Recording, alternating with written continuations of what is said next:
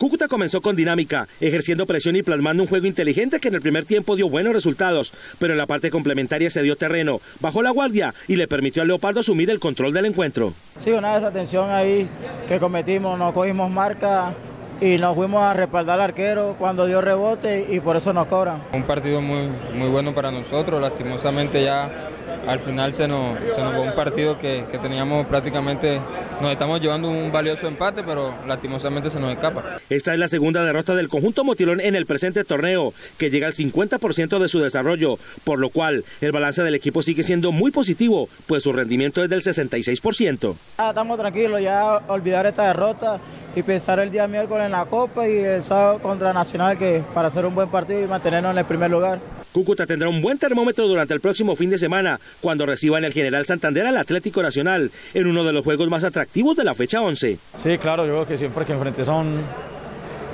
rival de nombre, un rival